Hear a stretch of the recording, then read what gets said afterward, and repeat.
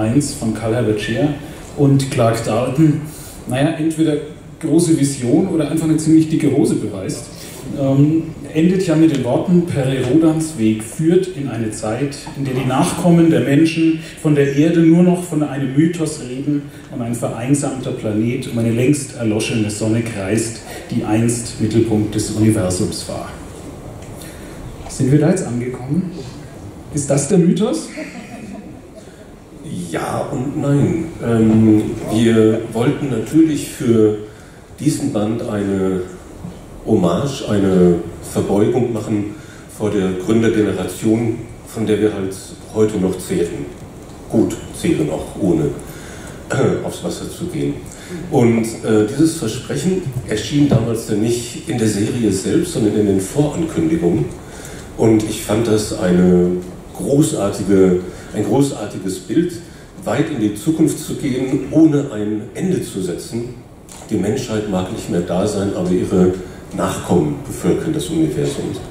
Ähm, wir haben deswegen als Zyklus und als Romantitel durchaus den Mythos gewählt, obwohl es natürlich nicht der Cherche-Mythos ist. Wir wollen ja mit Band 3000 die Serie nicht beenden äh, und nur noch erzählen, dass die Sonne jetzt erloschen ist und die Reste der Menschheit sind ausgewandert und die Erde kreist einsam um den erloschenen Stern. Das würde auch die Frage. Das, das weiß man ja nie, sage ich mal. Also Hartmut und ich, wir mögen keine Spoiler. Sage ich jetzt einfach mal so, das werden wir nicht erzählen, aber es gibt eine gewisse Wahrscheinlichkeit, dass wir es noch ein bisschen erhalten können. Es ist natürlich möglich, und das haben die Kollegen auch immer wieder versucht, eine gewisse Verschiebung in, diesem, in dieser Fünfergruppe einzusetzen. Ähm, bislang war es ja so, äh, dass Rodan im Grunde der Erfahrenere ist, der die Leitfigur, der uns mitnimmt, wie Leo mal gesagt hat.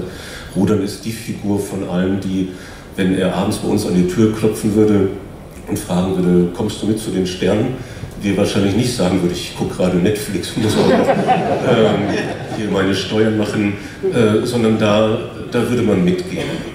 Bei Ich und Tollot käme man ins Zögern, glaube ich. Also, hm, welche Rolle spiele ich denn? Was isst du denn so am Abend? Äh, und äh, man kann schon in, diesem, äh, in dieser Fünfer-Konstellation ein bisschen was ändern. Und man kann zum Beispiel mit einem Zeitsprung bewirken, dass äh, einer der Figuren plötzlich der Erfahrenere ist, vielleicht sogar der Erfolgreichere. Die Figuren liegen immer.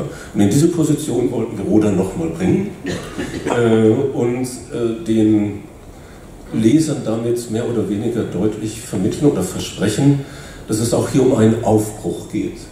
Und das Rodern, was immer er jetzt tun wird in diesem Handlungsabschnitt, in diesem Zyklus, eine, eine ihn fast zwingende Motivation hat, äh, ihn in einen, äh, ihn in einen Zugzwang setzt, von dem er nicht gedacht hätte, dass er da jemals hineinkommt. Am Schluss sind die in der richtigen Reihenfolge, wenn die zugeschnitten sind.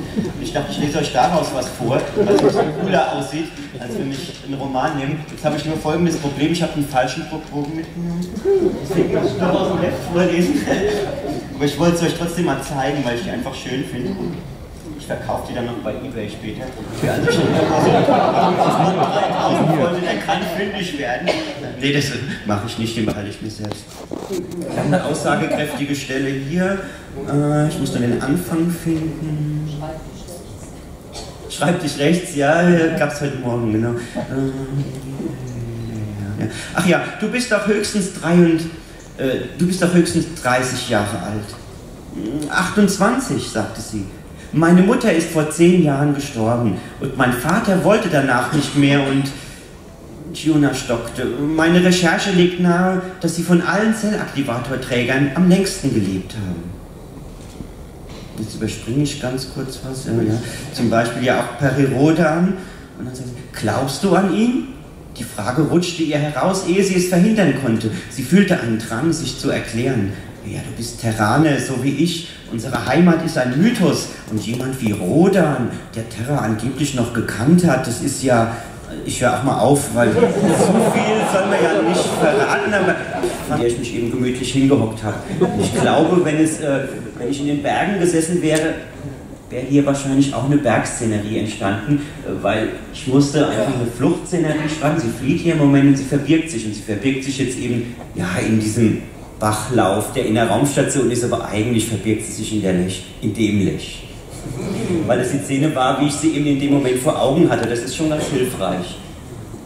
Aber das heißt, an so einem Tag mit drei Nullen geht man schon mit ein bisschen, geht ein bisschen anders an, oder? Mit mehr Respekt.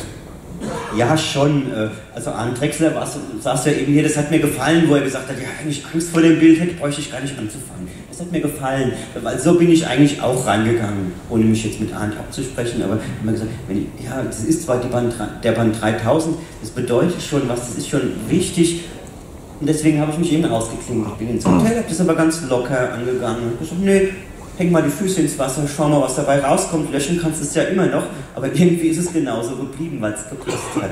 Also ich habe versucht, möglichst locker ranzugehen, weil, ähm, ich sag mal, ja, wie Arndt es gesagt hat, wenn man Angst davor hat, funktioniert es nicht. Oder wenn man verkrampft ist oder wenn man denkt, der Roman muss jetzt besonders gut werden, das ist ja die Band, das ist die Band 3000.